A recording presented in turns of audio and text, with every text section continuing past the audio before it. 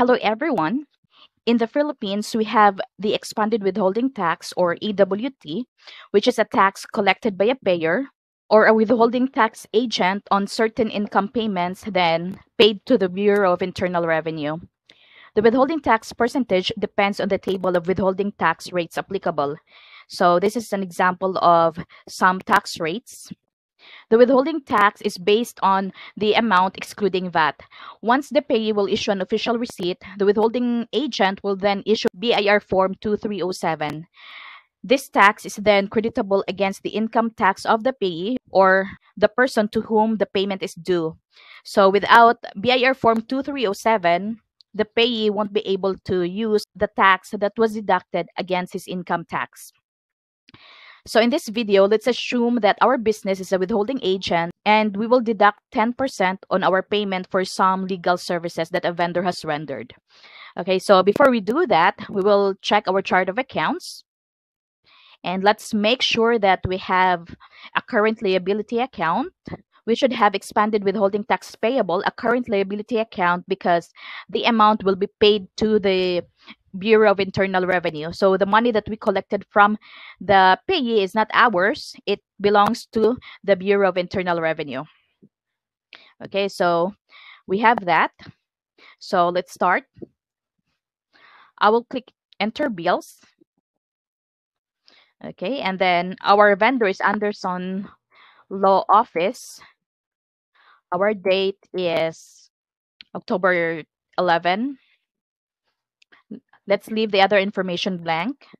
And then the account is legal services or professional services of 100,000.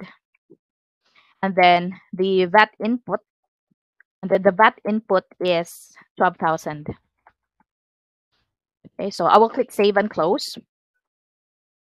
Okay, so we will deduct 10% on our payment to Anderson Law Office. So we will first create a journal entry. I will go to company and then make general journal entries. So we will pay on October 13.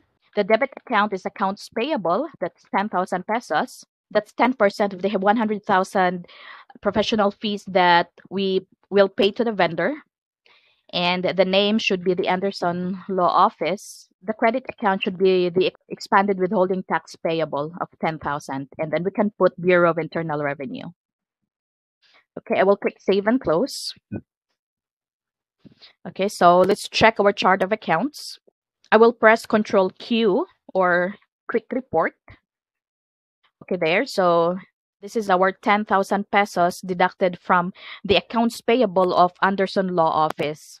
Okay, so let's apply our payment to Anderson Law Office. I will go back to the home page and I will click pay bills. Okay, I will filter by vendor. I will only pay 102,000 because the 10,000 will be withheld. And then the very important thing is I will click set credits so that the 10,000 pesos withholding tax amount will be deducted from the accounts payable of Anderson Law Office. Just make sure that there is a check mark at this column. I will click done. Okay. And then the date is October 13. Payment method is check.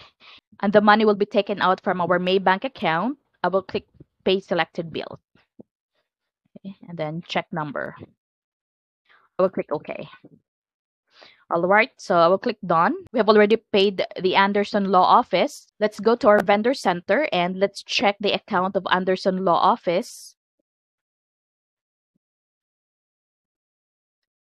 Okay, so I will double click the bill and I will press Control Y for the journal entry.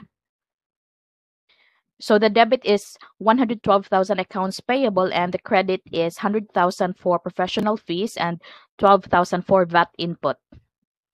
I will double click the payment and then press Control Y again. Okay, so we only pay 102,000 to the vendor and then the credit is 102,000 coming from the Maybank account. All right, so We will now pay the Bureau of Internal Revenue. I will click write checks. And then we will pay from our security bank. The vendor is the Bureau of Internal Revenue. Okay, and then withholding tax, expanded withholding tax of 10,000. We will change the date to November 1st. Okay, I will click save and close. And let's go back to our chart of accounts. Let's check our EWT account.